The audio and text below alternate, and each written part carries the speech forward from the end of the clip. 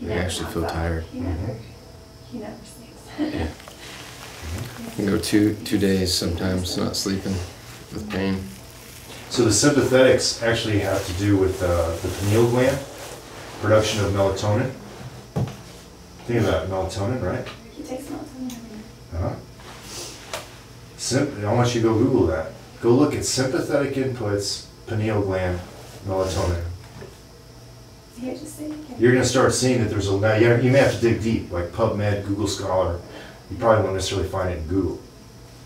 But my point being, um, the sympathetics actually control um, some of the, of the sleep stuff. Can you say that? Pineal gland, P-I-N-E-A-L. Sympathetic nervous system, pineal gland, melatonin. Okay, so there's a link between the autonomic nervous system, which is half of it's sympathetic, and melatonin production. So right now, you feel totally like you're wore out. You're like, man, I could, I'm so relaxed. You could crash right now, correct? Yeah. Yeah. because there's something inhibiting production. I I don't know, fully understand the physiology, but I know there's a relationship.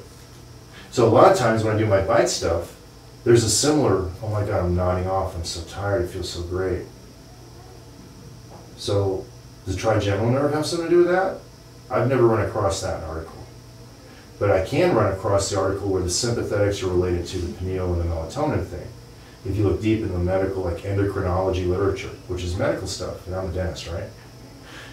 Well, why in the hell is it happening when I'm working on teeth? Because the teeth got something to do with sympathetics. But no one's taught that.